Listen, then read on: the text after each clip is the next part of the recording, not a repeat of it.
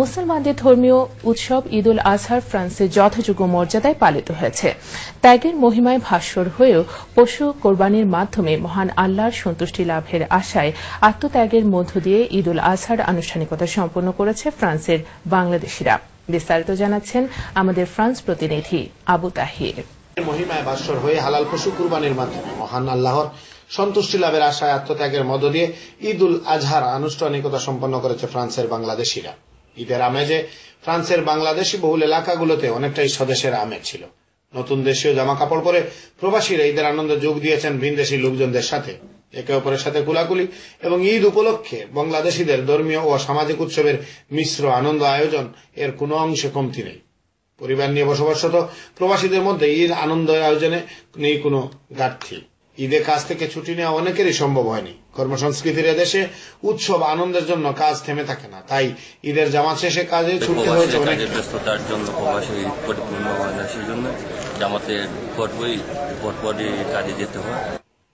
মনটা ভারী করে দেশে থাকা বাবা মা আত্মীয় স্বজনের জন্য মন খারাপের কথা জানান ঈদের জামাতে আসা অনেকে। ঈদ মুবারক। সবাইকে ঈদের শুভেচ্ছা।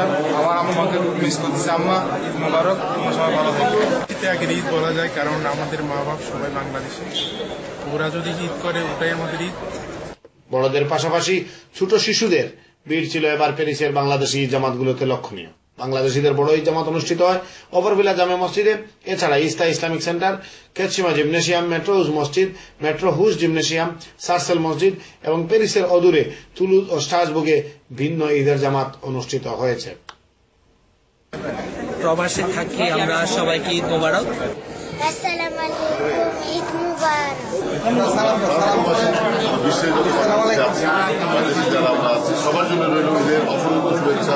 ফ্রান্স বিএনপির পক্ষ থেকে সবাইকে ঈদ মুবারক। ফ্রান্স আওয়ামী লীগের পক্ষ থেকে পবিত্র ঈদ উল আজহা উপলক্ষে ঈদের শুভেচ্ছা ঈদ মুবারক। নারী এবং শিশুদের উপর নির্যাতন বন্ধ হোক এবং বাংলাদেশকে সুখী সমৃদ্ধশীল বাংলাদেশ হিসেবে দেখতে চান ফ্রান্সের প্রবাসীরা।